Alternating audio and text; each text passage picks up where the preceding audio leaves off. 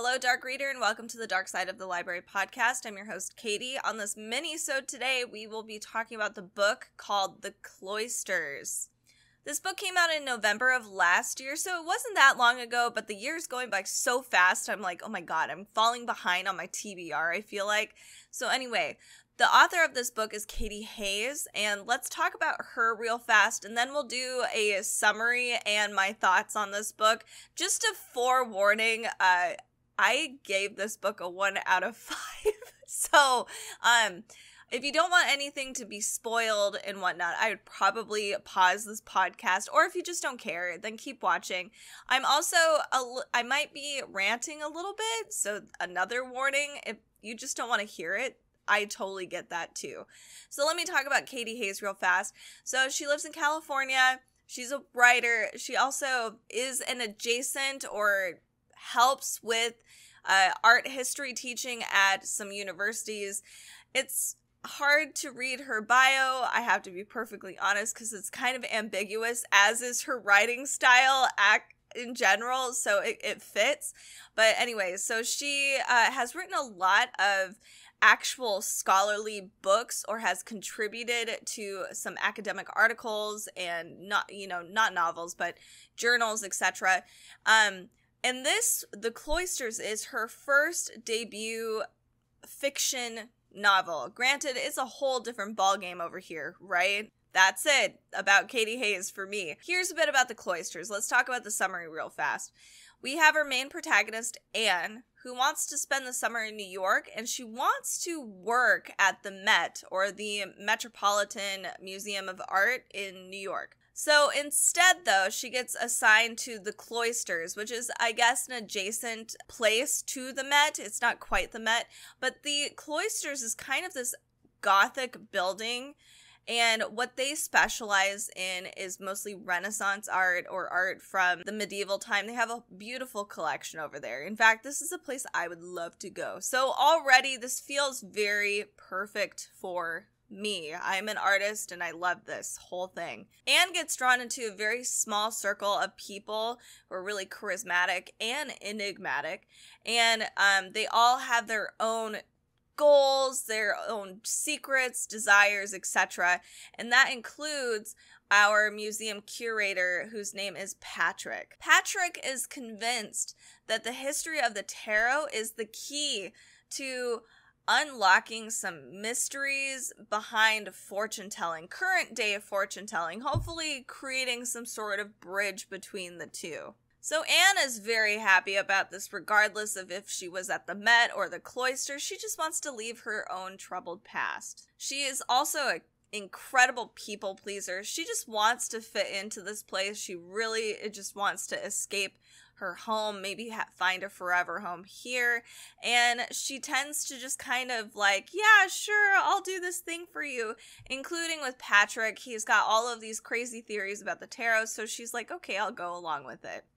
But Anne discovers this old 15th century tarot deck and this becomes the pivotal moment where the whole book becomes a game of kind of like a cat and mouse.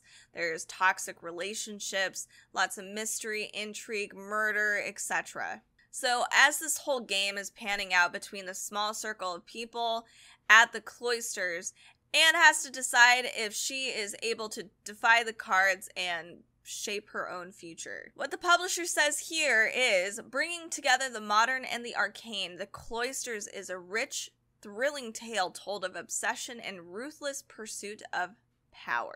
All right, so I already told you at the very beginning, I gave this book a 1 out of 5. I think on average, this book probably gets about a 3.5, especially on Goodreads. I don't know why this did not hit the mark for me. I'm going to explain why it didn't work for me, but that does not mean it's not going to work for you. Just an FYI, every book hits everybody differently.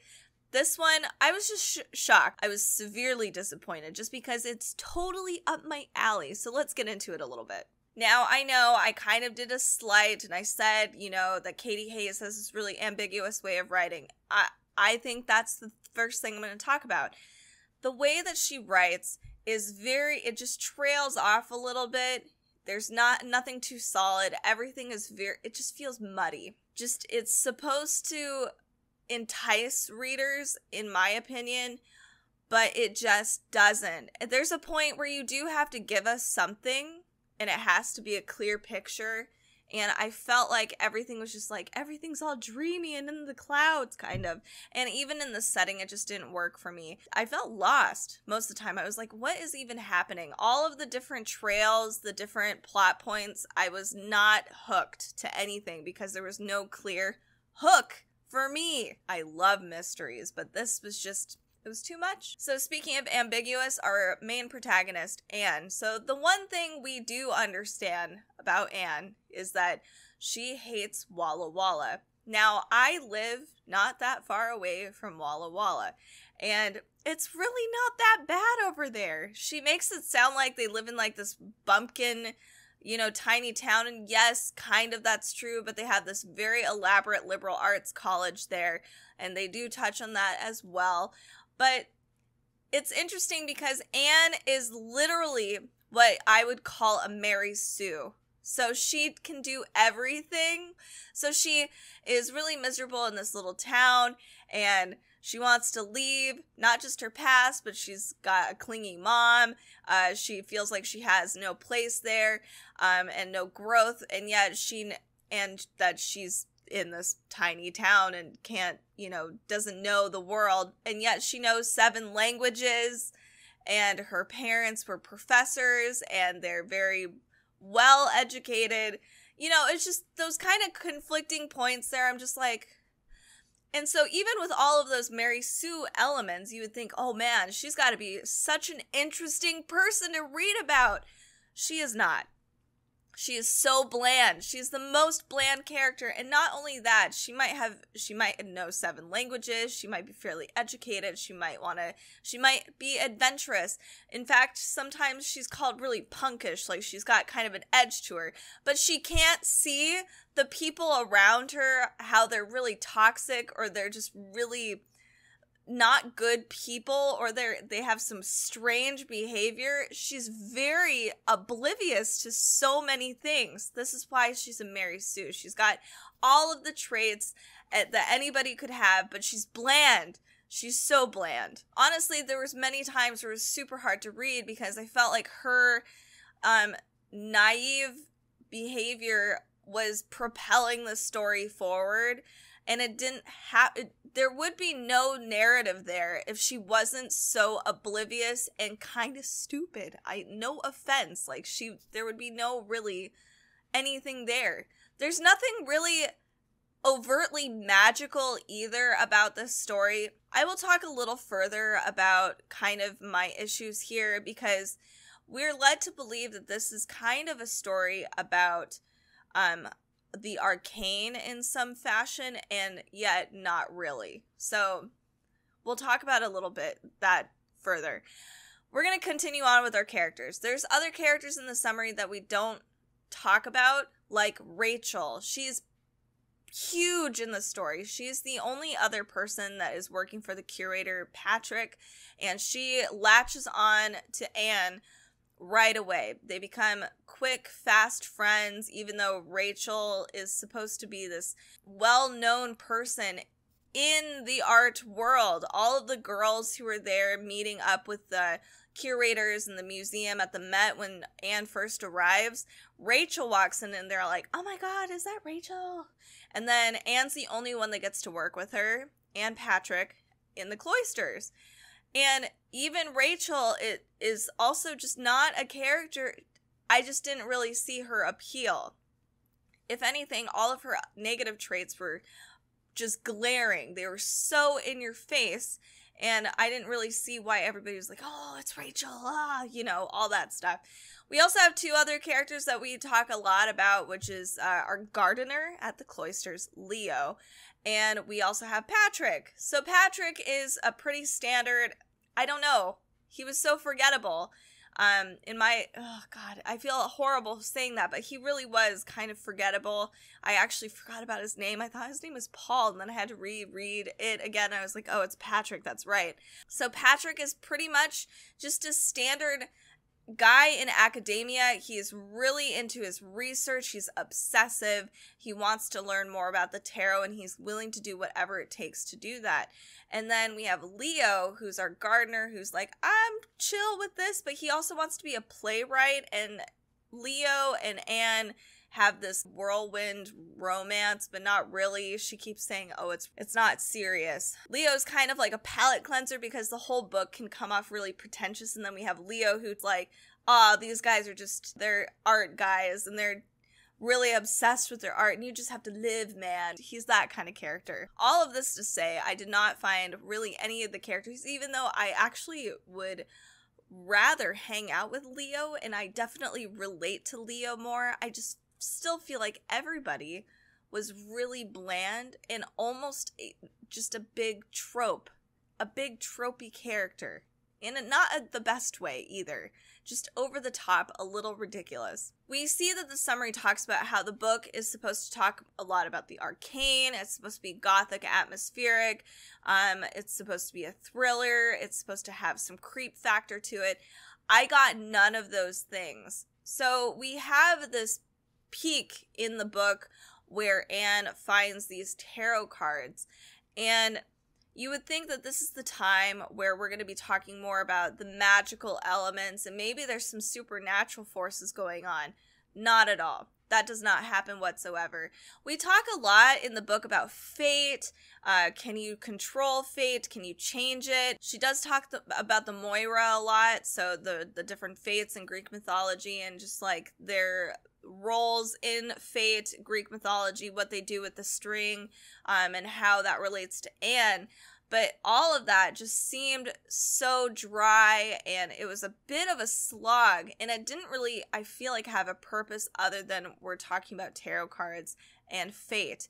It just almost was like this weird philosophical diatribe that would happen every once in a while throughout the book. Speaking of dry this book is so long and it drags on. It I, it really does. It doesn't start picking up until three quarters of the book. Everything else in the novel was basically talking about the fates and the cards, um, which I don't feel like that lends to the book being, oh, this is now a gothic book because we talk about tarot cards. It almost feels like just you have to have this very big appreciation for classical renaissance medieval art and just there's so many things about the art and the art world the met um, and just art academia.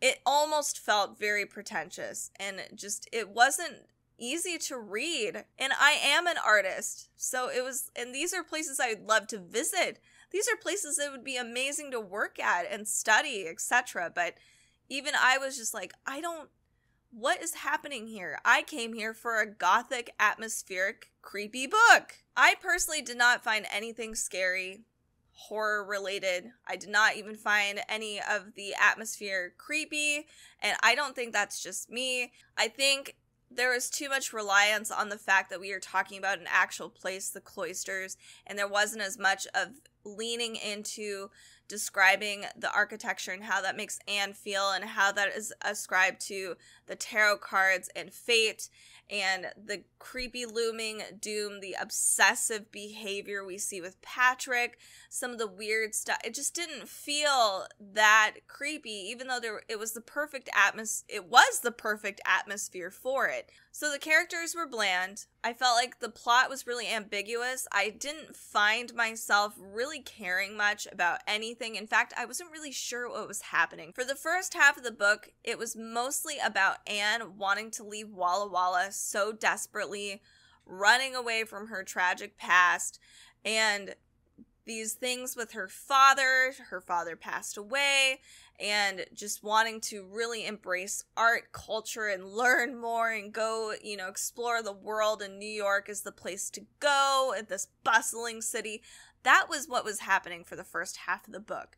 And it felt so long to get to the actual hook and the hook wasn't even that much. I felt like I was waiting for something to happen for so long and I it was a huge letdown. And if you have listened to some of our previous podcast episodes, you know that I don't care if things are very predictable. In fact, there's been plenty of books that I've thoroughly enjoyed. I've guessed the plot, and it really doesn't matter. We we've kind of used up a lot of the same plot points. Uh, there's a reason why there's a certain way that we write so that it makes sense. But this one, I guessed what the plot was right away, even though I was I was kind of hoping it wasn't what I was going to guess, and it was a huge letdown, and it wasn't done well, in my opinion. The twists and turns did not feel very, it just didn't do much for me.